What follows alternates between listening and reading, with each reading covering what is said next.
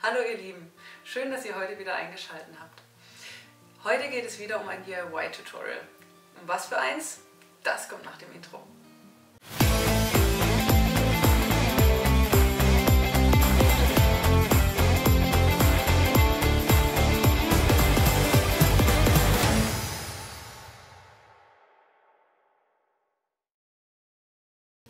Ganz kurz vorweg, wenn dir das Video gefällt, dann freue ich mich hinterher über einen Daumen hoch. Damit unterstützt du mich sehr und wenn du mehr Tutorials sehen willst und keins verpassen, wenn ein neues online kommt, dann abonniere den Kanal über die Glocke.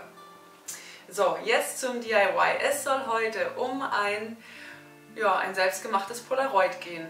Hm.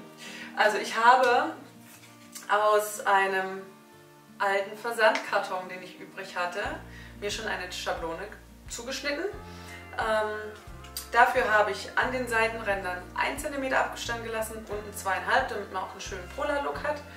Ähm, dann habe ich nochmal alte Filzreste rausgekramt, das ebenfalls zugeschnitten, damit ihr nicht zugucken müsst, wenn ich jetzt hier äh, rumschnibbel.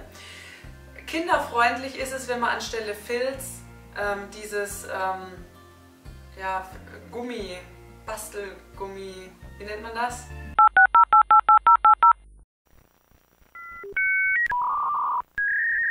Wisst schon, ähm, nehmt, nimmt, äh, weil es viel, viel einfacher zu schneiden geht und ähm, ja, kinderfreundlicher ist zum Basteln auf jeden Fall. Das habe ich also heute ausschließlich Upcycling bei mir. Und dann habe ich natürlich hier ein Foto, das ich entweder hier dazwischen oder dahinter peppen will. Und dann hat man quasi ein Polar selbst gemacht. Ich finde, das sieht ziemlich cool aus dann. Und unten könnte man das dann noch verzieren mit einer Schrift, mit ähm, anderer Filzfarbe zum Beispiel, dass man da Buchstaben drauf macht oder was draufschreibt mit einem passenden Stift. Wir brauchen dazu noch einen Kleber. Ich bin ja schon fertig, aber ihr bräuchtet ein Geodreieck, äh, natürlich Pappe und Filz, Bleistift und Schere. Genau. Ich werde das jetzt hier einmal direkt draufkleben.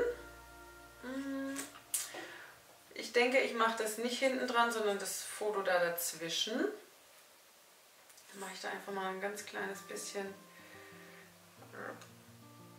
Kleb dran. Ich habe hier Universal Bastelkleber, also auch ja, nichts Besonderes. Der soll relativ schnell trocknen und auf den meisten Materialien halten. Hoffen wir mal ist das so. Nicht, dass es dann auf dem Filz nicht hält. So, ich packe das hier jetzt mal einmal drauf. Ah, vielleicht als kleinen Tipp, ich habe das äh, für die Schablone das Bild umrandet und bin dann nochmal einen halben Zentimeter nach innen gegangen, damit ich das auch schön draufkleben kann, sonst bringt mir das ja nichts, dann habe ich nichts zum Kleben und das Bild hängt da irgendwie. Also da habe ich mir hier einen halben Zentimeter Luft verschafft zum Kleben.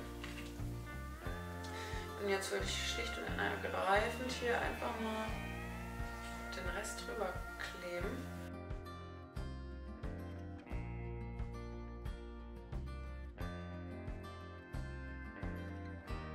Das sieht voll geil aus mit dem Kram.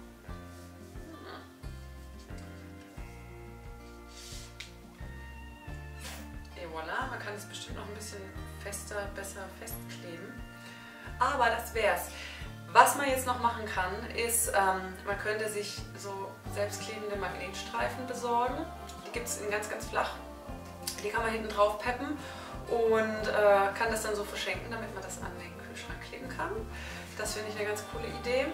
Und ähm, ich habe solche Teile in der Küche tatsächlich. Äh, mit, es gibt solche ähm, Lichterkettchen mit Klemmerchen und habe die dann da einfach dran geklammert. Sieht auch sehr, sehr cool aus, gerade zu Weihnachten auch. Und da macht man einfach ein paar von mit einer dezenten Farbe oder vielleicht auch mit grün, gold, äh, Filz, beziehungsweise auch diesem Filz, ne, Filzgummi, nee, Moosgummi, jetzt! Oh, der Groschen ist gefallen. Moosgummi. Ähm, genau, gerade wenn man auch mit Kindern bastelt, ist Moosgummi, wie gesagt, besser. Und dann hätte man sein DIY-Geschenk. Vielleicht ist es ja eine coole Idee jetzt auch ähm, für Weihnachten für euch, mal ein kleines Geschenk selber machen. Es muss nicht immer was Großes sein. Und ähm, ja, ich finde die Idee cool. Mir gefällt es ehrlich gesagt auch ziemlich. Vielleicht sieht man das so besser ähm, von den Farben her.